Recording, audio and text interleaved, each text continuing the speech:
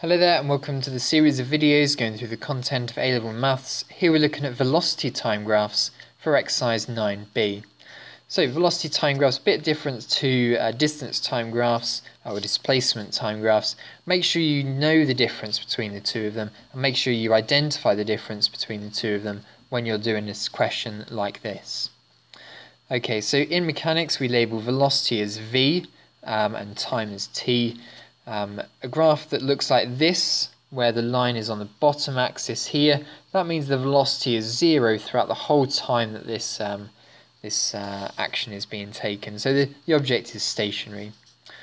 When, uh, when the graph looks a little bit like this and the velocity line is horizontal like this, it's a bit like chugging along the motorway. You've got the same velocity over a series of time, so you're just chugging along on that motorway at a constant speed. Your speed isn't changing, you're not increasing your speed, you're not decreasing your speed. When the graph looks like this and it's at a slight angle, it means you're changing your speed. So your speed is gradually increasing over a certain time period. It means you're accelerating. If the line was coming down the other way, you'd be decelerating or you'd have negative acceleration. And the key part here is that on a velocity time graph, the gradient represents the acceleration. Remember previously when we looked at displacement time graphs, gradient was velocity, in this case gradient is acceleration. It's important you know the difference. Okay, and another key thing that uh, that we're just blazing over here is that the area under a dis a velocity time graph is equal to the distance travelled, and hopefully we'll see that in a bit more detail later. Okay, the question here says the diagram below shows a velocity time graph uh, for the motion of a cyclist moving along a straight road for 12 seconds. For the first 8 seconds, the tire for 8 seconds, she moves at a constant speed of 6 meters per second. She then decelerates at a constant rate, um, stopping after a further 4 seconds. So what that means is that she's applied the brakes and she keeps the brakes on at the same force, slowing it down at the same force uh, constantly throughout those 4 seconds. Uh, the distance travelled by the cyclist. Now the distance travelled here is the area under the graph. Now you have to break this graph up into several different sections here. You can use the area of trapezium formula like they're doing here. You break it up into a rectangle and a triangle. However you want to work out the area on this graph, um, that's what the uh, displacement is. And hopefully you're familiar with this at GCSE and hopefully um, this is this is all okay so far. So the area here is 60, but the units on this is the distance travelled is 60 metres. Uh, find the rate of deceleration of the cyclists. So um, to work out the gradient here, we do difference in y or difference in v divided by difference in x, which is time. So it's display change in v divided by change in time. So in this case here, we're changing by negative 6 on the velocity. 4 seconds have gone past, so our gradient here is minus 1.5.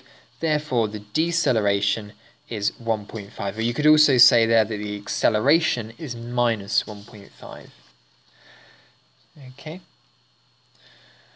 Alright then, another little question here then. Uh, particle P moves in a straight line, accelerates uniformly from rest to a speed of 8 meters per second in t seconds. Okay, so we've got an unknown in the time now. It's really important with these questions, we've got a good accurate diagram. Uh, the particle t then travels at a constant speed for 5t seconds, so we're up to 6t seconds now. It then decelerates to rest uniformly over the next 40 seconds. Now when it says the word uniformly here, that means that when we draw the diagram, our acceleration and deceleration are going to have straight lines. They're not going to be curved in any way. Part A, draw a velocity time graph for this motion. Okay, the first, the second sentence here says it travels up to a velocity of 8 meters per second in t seconds uniformly. So that means this line here is a straight line up to speed of 8 after t seconds. The next bunch of time here is travelling at a constant speed, so that means flat line for 5t seconds. We've got further 5t seconds on this. And then it says accelerates, decelerates uniformly over the next 40 seconds. So this part here on the graph is going to be at 40 seconds down to rest. The next question here is given that the particle travels 600 meters, find the value of t. Well, if distance equals area under graph, then we should be able to work out what t is from this. What we'll do is we'll um, you can either split it into two triangles and a rectangle, or you can use the area of a trapezium formula here. So A is the top part, B is the bottom part, H is the height. So it's 5t on the top, height of 8 and a base of 6t plus 40. Sub that all into your formula and you know the area of this shape underneath here is going to be 600 because that's the distance travelled.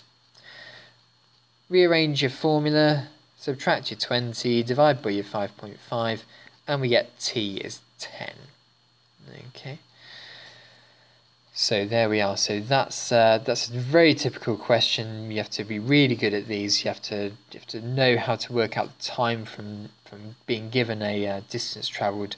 Um, so yeah, it's a very common question. All right then. So your turn to have a go at this question here. Then uh, pause the video and try this one out.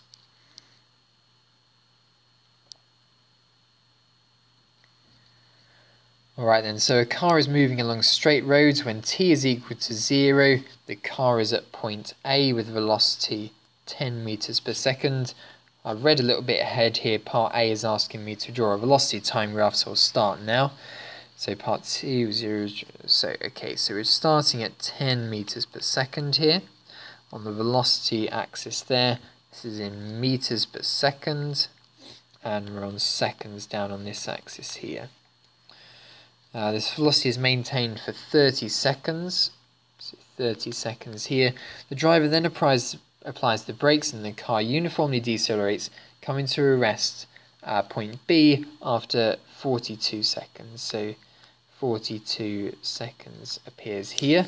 So that's 12 seconds that they decelerated for. Uh, sketch the velocity time graph here. Done. Part B, find the distance from A to B.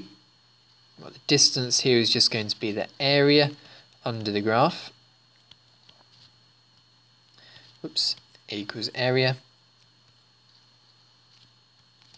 So, therefore, uh, let's use the trapezium formula here. So, area is equal to the top, which is 10, plus the base, which is, no, the base top isn't 10, top is 30, sorry. 30 plus the 42 on the base, divide that by 2 and times then that by the height of this graph, which is 10. So what we're going to get is 72 times uh, 10 divided by 2. So we're there going to get 360. What's the units? Well, it's in meters per second, so we're in meters here.